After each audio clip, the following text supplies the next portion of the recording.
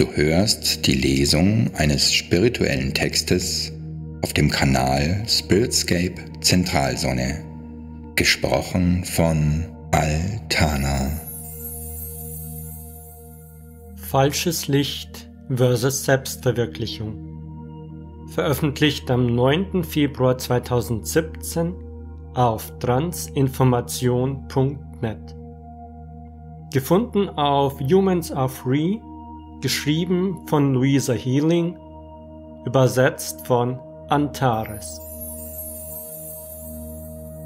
Ich meine, ihr könntet sagen, ich war immer ein Sucher der Wahrheit. Niemals durch die Auffassungen anderer befriedigt und mich nicht in der Lage fühlend, irgendeinen Sinn in den von Menschen erschaffenen Religionen zu erkennen, begann ich meine innere spirituelle Heilungsreise in meinen Zwanzigern, als ich körperlich mit einer Autoimmunerkrankung erkrankte. Diese Krankheit zwang mich dazu, meinen physischen Körper zu reinigen, was mir wiederum half, meinen mentalen, emotionalen und spirituellen Körper zu reinigen. Am Anfang meiner Suche verlor ich mich ein wenig in den falschen New Age Liebe und Lichtlehren, die mich aus meinem Körper in vorzeitige Glückseligkeit zogen. Ich griff nur nach den Höhen und vermied alle Negativität. Ich zerschmetterte all meinen Ärger, meine Scham, meine Wut, meine Trauer und meine Schuld und verhinderte die Wahrheit meines inneren Schmerzes und Wirrwarrs zugunsten des sogenannten Einsseins oder für Liebe und Licht. Während dieser Zeit wurde ich sehr stark in eine bekannte Heilungsvariante involviert, worin die emotionale Freisetzung häufig für emotionale Downloads umgangen wurde. Diese Variante und auch ihr ähnliche Modalitäten sind meiner Meinung nach sehr gefährlich da wir beginnen, unsere höhere Spiritualität oder unsere Chakrenzentren zu öffnen, wobei das wichtigste Chakra unter ihnen allen ignoriert bleibt, was natürlich das Basischakra ist. Sobald unsere Erdung nicht solide ist und wir uns nicht sicher fühlen mit starkem Vertrauen und Zuversicht in unserem Pfad, können die Dinge sozusagen recht holprig werden. All diese Arten von Heilmethoden drehen sich ausschließlich um Heilungen und weniger um Taten oder Integration. Das falsche Licht, in der Regel in seinem Kern ein hierarchisches System, was wiederum die Menschen dazu ermutigt, einen sogenannten Gott, Schöpferwesen, Guru, Schamanen oder Lichtwesen anzubeten oder ihre Macht an jene abzutreten. Diese Wesen werden gewöhnlich als außerhalb des Selbst wahrgenommen, abgetrennt und oder weiter fortgeschritten. Das falsche Licht umgeht stets die notwendige emotionale Freisetzung von Wut, Ärger, Angst, Schuldgefühlen, Trauer etc., indem sie diese Gefühle anprangern und sie als schlecht oder sogar gefährlich beurteilen. Wahr ist, dass diese dunkleren Emotionen, so sie unterdrückt werden, sich oft in Gewaltausbrüchen äußern können. Doch nur, wenn sie unterdrückt und gescholten werden. Mit dem wahren Licht der Barmherzigkeit, der Selbstliebe und der Akzeptanz aller unserer Gefühle können wir beginnen, unsere Vergangenheit auszudrücken und zu heilen. Normalerweise benötigen wir, sobald wir mit dieser Reise beginnen, einen erfahrenen Unterstützer, um einen sicheren Raum für die Freigabe dieser unterdrückten Emotionen zu erhalten. Es besteht ein riesiger Unterschied im sich im Opferbewusstsein suhlen, beziehungsweise bereit zu sein, die emotionalen Verzerrungen zu fühlen, um die Emotionen oder ursprüngliche Traumata vollständig gehen zu lassen. Wenn wir uns der Seelenreinigung anvertrauen, beginnen wir die Verzerrungen zu lehren, indem wir sie mit Liebe und Mitgefühl vollständig fühlen, anstatt uns in Schmerz und Drama der Vergangenheit zu suhlen, in Scham, Schuld oder Bedauern feststeckend. Es ist daher von größter Wichtigkeit, den Balsam der Selbstannahme, der Liebe und der Vergebung zu diesen unseren eigenen dunkleren emotionalen Aspekten zu bringen, um sie authentisch loszulassen. Unsere Gefühle wahrhaft zu fühlen, ist ein wesentlicher Teil der Seelenreinigung und kann nicht ohne gravierende negative Auswirkungen umgangen werden. Ich habe dies erfahren, als ich vor dreieinhalb Jahren eine erwachende, destabilisierte Kundalini-Energie erlebte. Ich wurde aufgerissen und in das Maul von interdimensionalen, nicht gütigen Wesen geschleudert, die nicht meine besten Interessen im Herzen hatten. Es ist eine ziemlich dramatische Reise gewesen, das Gesetzte seitdem erneut zurückzusetzen, und ich bin entschlossen, anderen zu helfen, indem ich sie zu authentischem, vom Basischakra aufwärts geerdeten, sicherem Erwachen ermutige. Aufgrund der sozialen Konditionierungen all unserer Programmierung halten wir eine enorme Menge gefangener Emotionen in unserem emotionalen Körper aufrecht. Dies hat einen direkten negativen Effekt auf unseren physischen Körper. Blockierte Trauer wird Lunge und Herz beeinflussen. Wut wird die Leber beeinflussen, Furcht die Blase und die Nieren. Und die Liste ließe sich beliebig fortsetzen. Der physische Körper ist tatsächlich ein erstaunliches Barometer unserer Seele und kann uns exakt zeigen, wo unsere gefangenen Emotionen und begrenzenden Glaubensmuster sich befinden. Den meisten von uns wurde ständig gesagt, gut zu sein, zu lächeln, höflich zu sein und unsere Wahrheit zu verschließen, damit alle anderen sich wohlfühlen.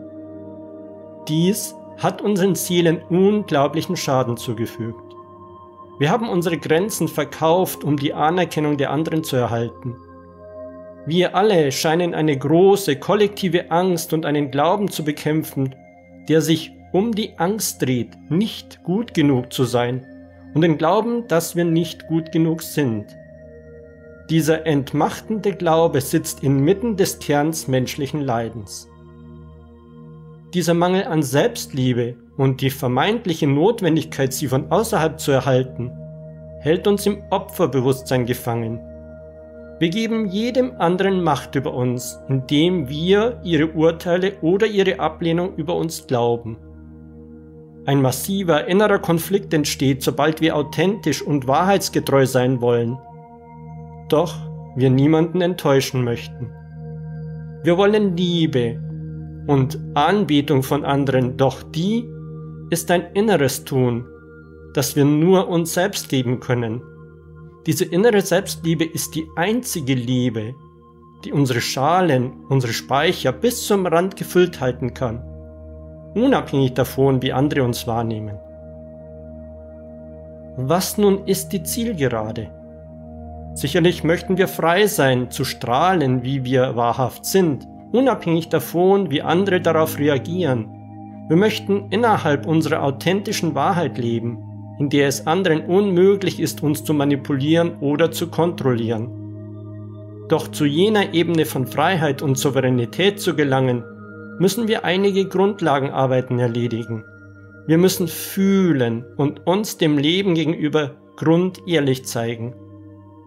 Wenn wir in Angst leben, uns so zu zeigen, wie wir wahrhaft sind, verstecken wir uns, machen uns unsichtbar und stellen uns niemals unserer eigenen Herausforderung.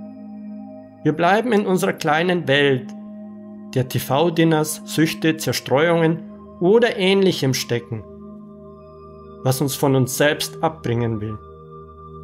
Wir sind die Sklaven unserer eigenen Ängste geworden und glaubt mir, dies ist das Futter der nicht wohlwollenden Astralwesen. Unsere Angst ist ihr Futter. Wir sind nicht an der Spitze der Nahrungskette, wie wir dies denken könnten. So wie lernen wir nun all das, was wir wirklich brauchen, um frei zu sein?